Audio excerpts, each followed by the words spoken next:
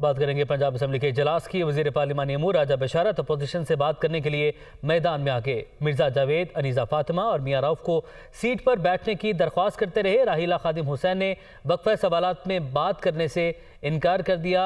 Governor वजी अला पर अदम अतमाद कर चुके। गुजारिश है कि पहले एतमाद का वोट लें, ऐसा कहना रुकने पंजाब असम्बली राहिला खादम का। तो क्या सूरत हाल रही? लियाकत अंसारी हमारे साथ मौजूद है। लियाकत इजलास की कार्रवाई की क्या सूरत हाल बनी? अपडेट कीजिएगा।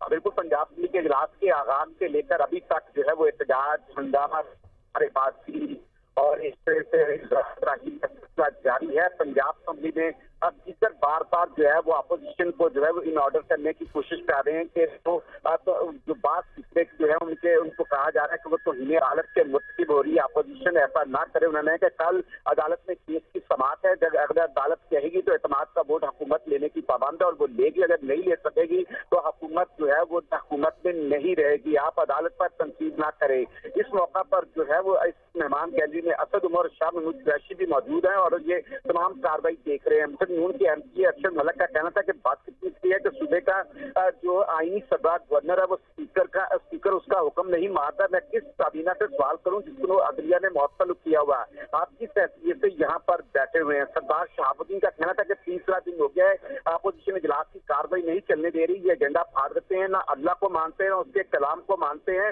और अल्लाह रसूल के नाम वाले एजेंडे को ज़मीन पर फेंक दिया है।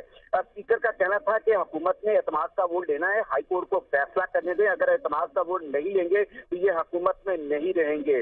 अपोजिशन बेंचों से फिर बार बार वक्फे वक्फे से डाक के नारे लगाए जा रहे हैं और हुकूमती अरकान को बोलने नहीं दिया जा रहा है। जब अजान के दौरान भी अपोजिशन ने एहतजाज जारी रखा तो स्पीकर का कहना था कि अजान हो रही है अल्लाह के खौफ से डरे और इस मौका पर एहतजाज मुनासिब नहीं है। अजान को एहतराम के साथ सुने। वज़ीर पार्लिमानी अमूर राजा बिशारत अपोजिशन को ठंडा करने की कोशिश करते रहे। वो मिर्ज़ा जवेद और मिर्ज़ा फातमा, मियाँ राउफ की पर गए और उन्होंने दरखास्त की और वो बैठ कर कार्रवाई जो भी एहतजाज करना बैठ कर करें। सादिया शहीदाना समाबिया पावर और सानिया कामरान भी मैदान में कूदी और उन्होंने अपोजिशन को इस मौका पर खरी खरी सुलाई। रहीला खादम ने वक्फा सवाल में बात करने से इनकार कर दिया। उन्होंने कहा, ये गवर्नर वजी अला पर अदम एतमाद का इजहार कर चुके हैं।